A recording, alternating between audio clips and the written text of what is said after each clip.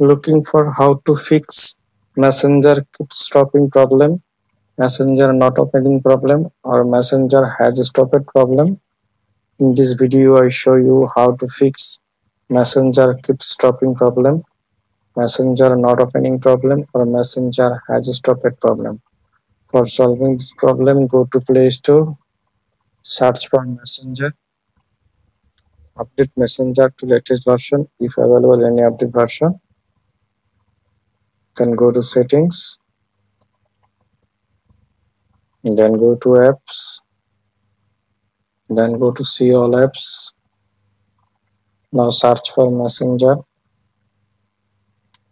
tap on messenger tap on storage and cache tap on clear storage tap on delete tap on force stop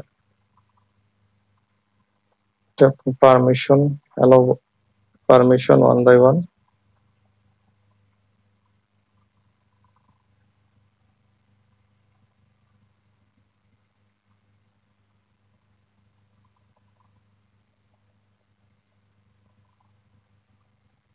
Now restart your phone.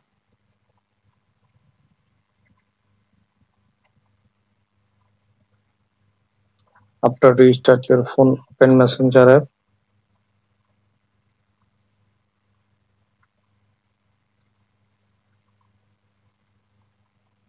open again.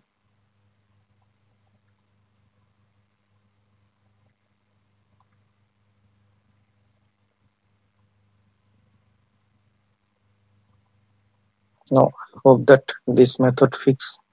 Messenger keeps stopping problem. Messenger not opening. Or messenger has stopped problem. Thanks for watching. Don't forget to subscribe to guide